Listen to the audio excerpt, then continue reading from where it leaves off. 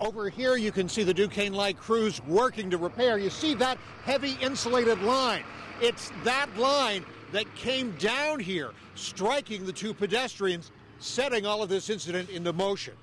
The 911 call to Castle Shannon's fire crews these 23,000 kilowatt Duquesne Light transmission lines down and transformers popping. The wires were down and there were a number of explosions at the Grove Crossing. Emergency crews found two pedestrians hurt, struck by the bundled power lines as they were walking near the light rail crossing.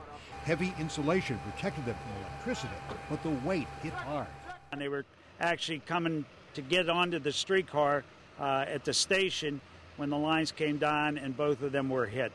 Castle Shannon emergency crews shut down car access to Willow and Grove roads from Route 88 and closed the Port Authority's LRV Blue Line for hours. Uh, we were able to stop the LRT cars because this line they would have came into contact with uh, could have made uh, a bad situation worse. The injured man was treated and released from St. Clair Hospital's emergency room. The woman struck by the power lines refused treatment.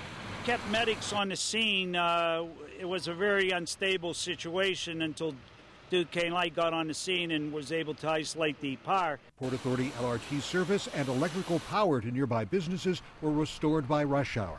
Bob Mayo, Channel 4 Action News.